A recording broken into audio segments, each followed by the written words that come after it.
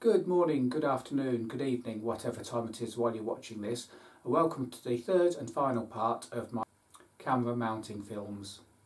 Before we get started on the RAM mount accessories that you can buy for GoPro and other cameras, um, I did mention in part one that um, you can quite easily lose the GoPro handlebar stroke mirror stalk mounting points because they're made of plastic and they shear.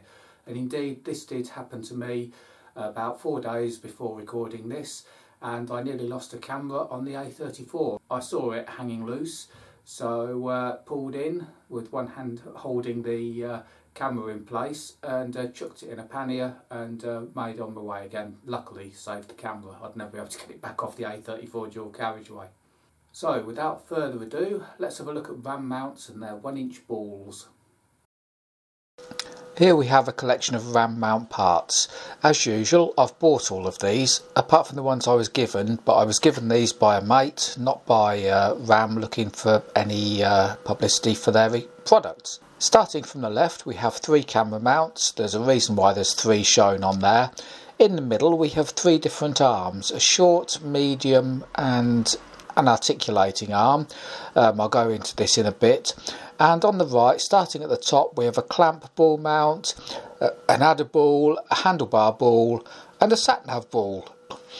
Uh, the reason I've shown this as well is because if you've got a TomTom or a GoPro, you're probably going to already be familiar with RAM mounts. Indeed, the short arm did come off one of my sat-navs. The sat-nav mounting here is one that I bought.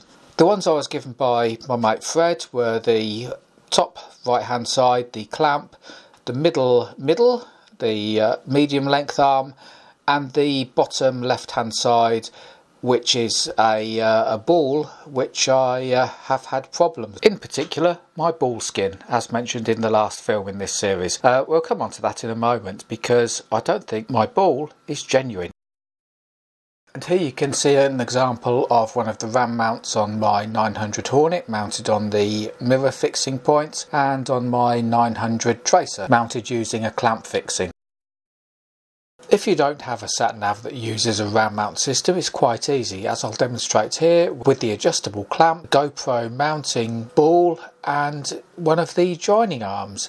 Simply put the balls facing each other, joining arm in the middle, shove the balls in the arm, nip the arm clamp up and there you go, one mounting system complete. The adder-ball system is both unique and a very good idea. Is undo one of the clamping bolts on the arm like so, keeping the large plastic washer, the small metal washer and the wing nut. Dismantle the arm and remove the centre bolt that the wing nut goes on. Don't chuck it away, you might need it later. Then you get your uh, adder ball, you'll see here there's a hex on it and that replaces the existing bolt you've just taken out, like so. Then, as the Haynes manuals would say, assembly is the reverse of disassembly, and there you go. You've got an extra ball that uh, goes on the arm that connects to your other balls. And uh, again, it's simply a case of add an arm uh, with a a ball mounted camera mount, whatever you need to mount on the other end, and bish bash bosh, there you go, an extra mounting point. When it comes to the clamp, it's very adjustable. You can see here, when I've loosened it up nicely, I can easily slip two fingers in. You can't undo the clamp all the way, but when you've tightened it up fully, I can barely slip a finger in there. It's really quite tight. So it shows a lot of adjustment. Now, despite all the adjustment you get on RAM mounts, it might be a case of you need a different angle between your balls to let them swing freely, one end on the mounting point and one end on the camera. If you can't do this by just adjusting a standard arm, the articulating arm does the job a treat.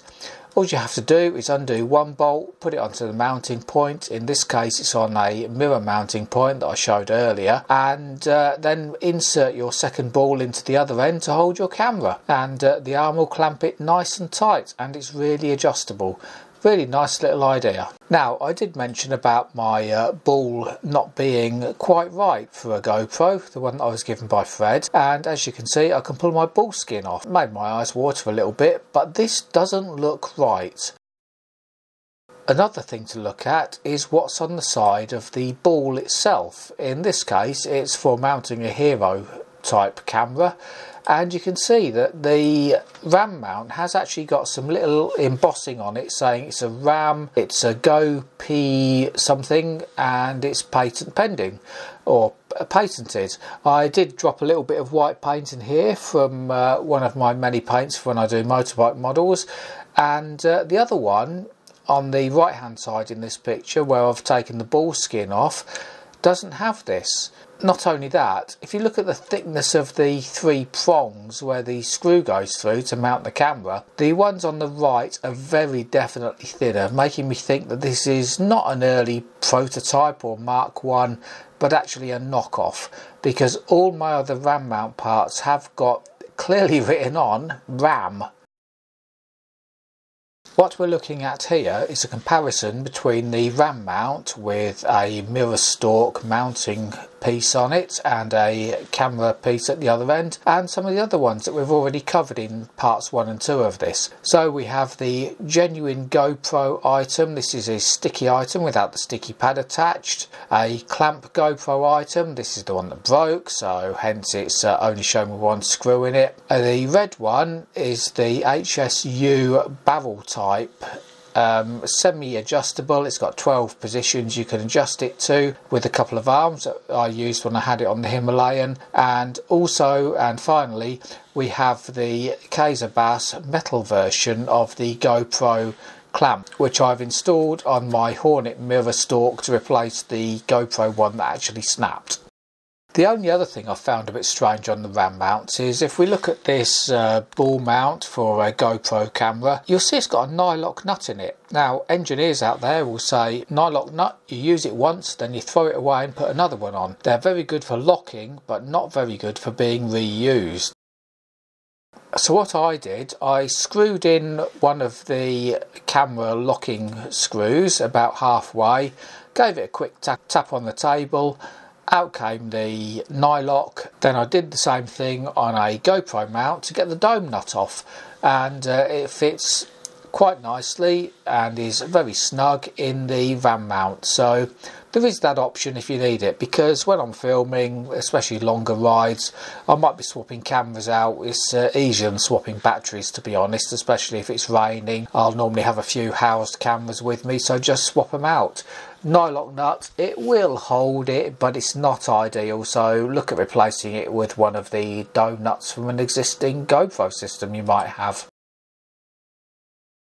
and this is what the mounts look like on the bike. This is the rear of my Himalayan with a GoPro on it via the articulating mount, the clamp and one of the ball mounts. At the front end we have the mirror stalk adapter, the short arm and again a ball mount for a GoPro camera.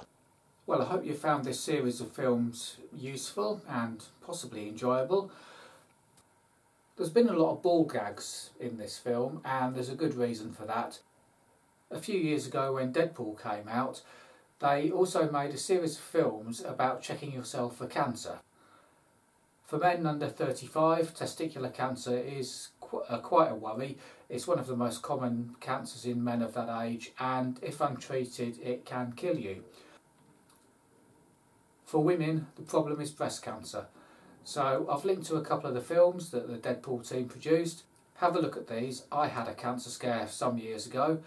Turned out to be a false alarm. If you do find anything, it probably will be in your case as well. But in case it isn't, make sure you catch it early. So get your fingers on your fun bits, have a good fumble around, and uh, hope to see you in the next video. Till then, goodbye and safe riding.